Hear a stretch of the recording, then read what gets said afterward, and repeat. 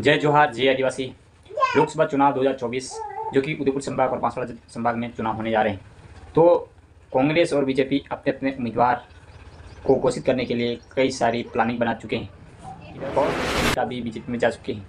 लेकिन Bharat Adivasi party party के selection प्रणाली के द्वारा तय होगा और जल्द ही आपके बीच में बांसवाड़ा संभाग के सिलेक्शन प्रणाली के द्वारा उम्मीदवार घोषित किया इस वीडियो के माध्यम से भी बताऊँगा और इस चैनल के माध्यम से वीडियो के माध्यम से आप तक पहुँचाने का संदेश मैं आप तक पहुंचाऊँगा। हमारे चैनल को सब्सक्राइब करें और इस चैनल के अगर आप पहली बार आए हो तो इस चैनल को सब्सक्राइब कर शेयर भी करें और सपोर्ट करें। अगर आपकी वजह से अगर सपोर्ट आपका बहुत बढ़िया रहा तो हम आगे आदिवासी पार्टी जो ट्राइबल दक्षिणी राजस्थान के अंदर क्यों बनाई गई?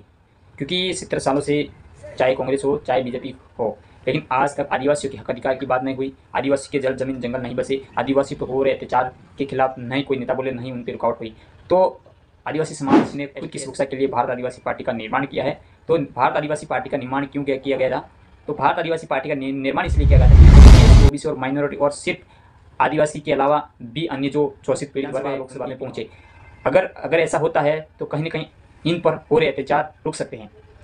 अब देखने को मिलेगा कि जो कांग्रेस के नेता हो या बीजेपी के नेता हो अपना बड़ा बड़ा जो नाम कहे जाए यानी कि जाने माने वरिष्ठ नेता माने जाते हैं और बड़े चेहरे के रूप में माने जाते हैं ऐसे नेता। लेकिन अब की बार लोकसभा चुनाव के अंदर ही पता लगेगा कि इन नेताओं का क्या वर्षक रहेगा इन नेताओं का कितना प्रभाव रहेगा जो भारत आदिवासी पर असर पड़ सकता है।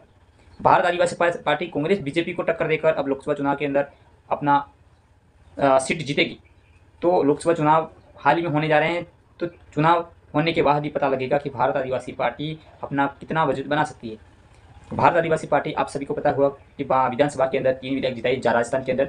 दरियावाद विधानसभा, आसपुर विधानसभा और डूंगरपुर चौरासी विधानसभा, जहाँ से राजकुमार रोत और दरियावाद विधानसभा से थावरचंद डामोर और विधायक उम्मीद चिरामोर साहब और एक विधायक जो कि सैलाना मध्य प्रदेश में है, सैलाना विधायक से और कमलेश डोडियार चार विधायक बने हैं। वो भी भारत आदिवासी पार्टी के सिंबल पे और कम समय के अंदर भारत आदिवासी पार्टी ने अपना नाम बहुत तेज़ी से हर पार्टियों से ऊँचा रखा है।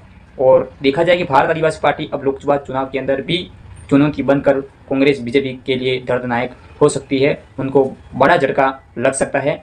भारत आदिवासी पार्टी कोई क्षेत्रीय पार्टियों से लगभग है लेकिन भी बढ़कर उभर चुकी है भारत आदिवासी पार्टी। भारत आदिवासी पार्टी एक जन जागरण के रूप में उभरी हुई। दक्षिणी राजस्थान के अंदर एक महीने पहले बनी भारत आदिवासी पार्टी ने तीन विधायक जिताई और अब जो कांग्रेस के बीजेपी नेता है वो कंफ्यूज है कि हमारी सीट बच सकती या नहीं बच सकती, वो तो खुद जानते हैं कि सत्तर सालों से राज करते हुए, आदिवासी को गुमराह करते हुए आ रहे थे, लेकिन अब भारत आदिवासी पार्टी बाद में आई है, लेकिन समाज के युवा जागरूक हैं, अपने हक अधिकार के लिए लड़ रहे हैं, अपनी समस्या के समाधान के लिए सरकार के खिलाफ आवाज़ उठा रहे हैं। तो वो ही उन उन नेताओं के खिलाफ, जो कि बड़े बड़े मंत्री संतरी को भी हराकर अपने विधानसभा, लोकसभा के अंदर उम्मीदवार भेजने वाले हैं, लोकसभा चुनाव के अंदर। तो हम जैसे ही लोकसभा चुनाव के पहले ही उदयपुर संभाग और बांसवाड़ा संभाग की सिलेक्शन प्रणाली के द्वारा कौन उम्मीदवार तय होगा, उसके बाद हम आगे और वीडियो के माध्यम से आप तक